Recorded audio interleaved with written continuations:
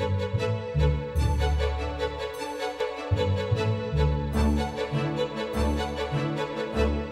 are very proud to announce here in Sochaux the launch of the new 308, which is a key strategic model for the brand that will attack the very demanding medium-sized car segment in Europe and the rest of the world.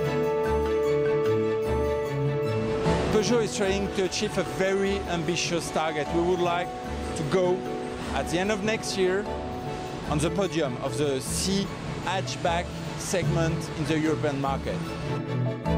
We saw uh, that the market in Europe uh, decreased by 7% at first half, but we still have a, a global forecast for the year at minus 5%, which means that second semester the fall we slow down. There will be, starting next year, the first increase of the market. We will take advantage of the very dynamic market outside Europe, and thanks to our uh, new launches, we are doubling the growth of the market. A very good result for uh, the Peugeot brand.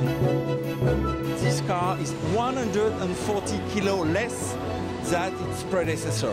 It's a car that differentiates from the competitors thanks to a pure and elegant design.